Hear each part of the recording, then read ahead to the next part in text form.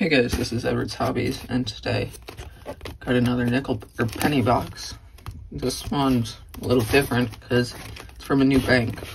Nearly all of the coins I've gotten so far are from uh, Chase banks, and I have an account at North Shore Bank, and I usually dump coins there, but I was at a different branch of one, so I decided to ask for a penny box. And got a penny box, same sort of box, same sort of of rolls as my chase, so it could be from the same place, but I'll be hunting if there's no enders or anything. So I'll start on roll one and bring you in on the first find. Also, I'll be taking out my copper just because it's worth more.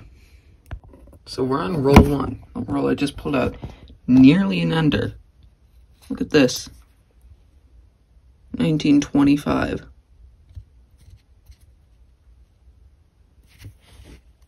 First roll with the new bank. I think it's just a Philly. I do have a 25S though from Coin Roll Hunting. I'll get out my albums and briefly show you what I'll be looking for, but Wow. First roll. First roll of the last penny box I did. I got a pre-40s too, but that's old and it filled a spot. Definitely will take that. So I'll show you my Wheat Penny album and then Canadian album. Here's my Wheat Penny album.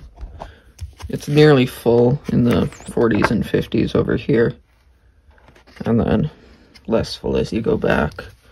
But as you can see, I do have 25S there. And yeah, 25, it's common, but still in circulation. 96 year old coin. I won't put it in yet, but that'll go there. I'll show you the Canadian. Here are my two Canadian albums. Here's the first one. Obviously, really nothing over here. We got a couple King Georges though.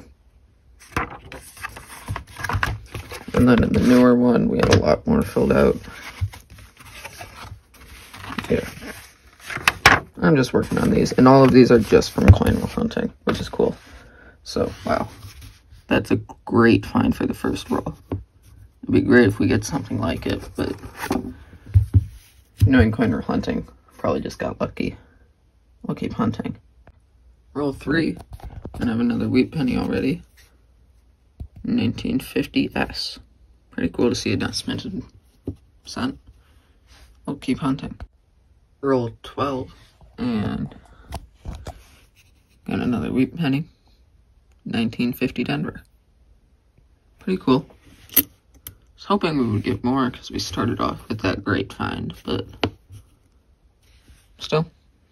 So we're on roll 23 already. Slowed down quite a bit. Just those three wheat cents. I didn't see it at first, but we got a Canadian. 1981. I'm pretty sure we have that, but still cool to see a Canadian.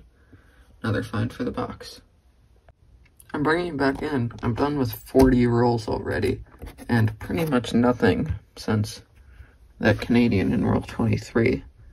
P59s and 69s. That's some 2009s. But three wheat cents. Like, hopefully we get more, or else this will be my lowest wheat cent box. But still, we got a good one, so it's worth it. Hopefully we get something else in these last 10 rolls. I'm on roll 49, second last roll of the box, and I haven't had a wheat penny in like over 30 rolls. And finally, we get another one. 1957 Denver.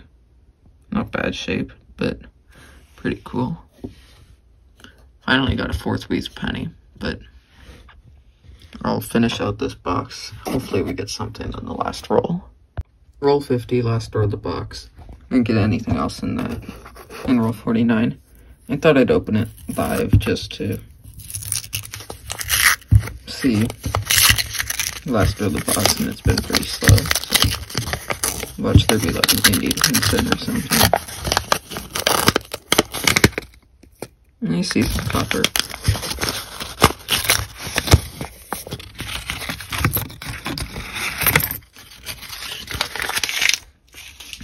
Um, let me go through these just real quick.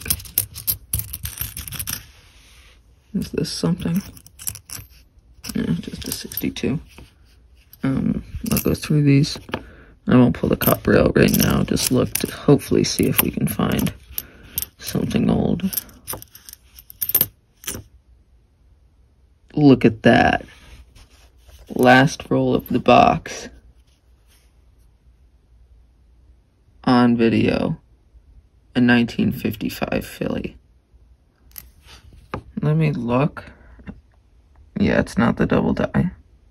If it was, that would be amazing. I'll check in a minute to see if it's like the poor man's double die or something. But I'm really glad I filmed the last roll, because it's always fun to find something on camera. Let me look through the rest of these real quick. Yeah that's a pretty nice 63. I won't pull it out for... Eh. Yeah, I'll put it out with the nice copper cents up there.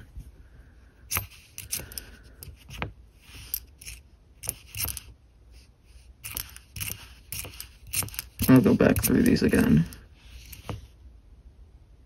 Another wheat cent. 1941. I. I was just like, eh, maybe I'll film this last roll just just for just for fun.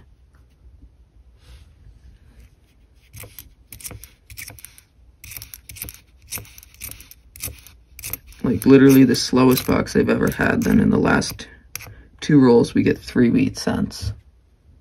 I'll go through these again and bring you back with a wrap up. Two wheat cents in the same roll caught on camera. That's pretty insane. So we finished that penny box. There was a pretty decent amount of copper, nearly a full cup, um, even though there wasn't a lot of wheat cents. Uh, we got some nicer copper cents, some nicer zinc cents. Kind of cool tone one, but got two S mint coins, a 69S and 70S. 459s, and a whole load of 2009s, but a lot of them were pretty corroded. Um, we did get that 1981 Canadian. Pretty cool. And then the wheat cents. I'm pretty sure this is the, I think the lowest wheat cent box I got before this was, was I think 8 wheat cents, and this is 6, so it is the lowest. But the find of the box, first roll there, we got that 1925. It's in terrible condition, but it does fill a spot in my album. And it's a 96 year old penny. And that last roll there, I was like, eh, I'll film it just for fun. And got two wheat cents in the last roll. Also got that in the 49th roll. But like a 30 some wheat roll drought for wheat cents. So overall, it was a fun box. I'll probably get boxes from this bank when when I don't want to annoy one of the other banks, one of the Chase banks I usually get, but it wasn't great or anything, but quality over quantity in this. So like, subscribe, thanks for watching, bye.